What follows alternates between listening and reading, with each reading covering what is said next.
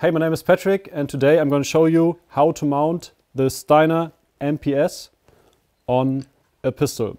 First of all, the gun is clear, no bullets inside, no magazine inside, so we can work with this gun right now.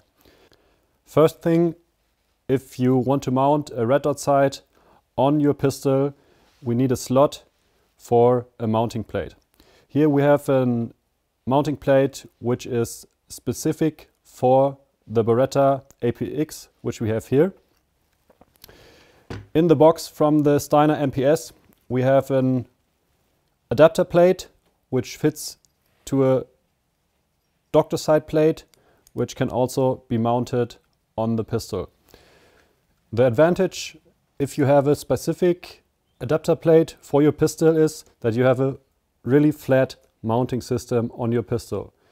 If you take the adapter plate, it's a bit higher, but it's also possible to mount the MPS with this adapter plate.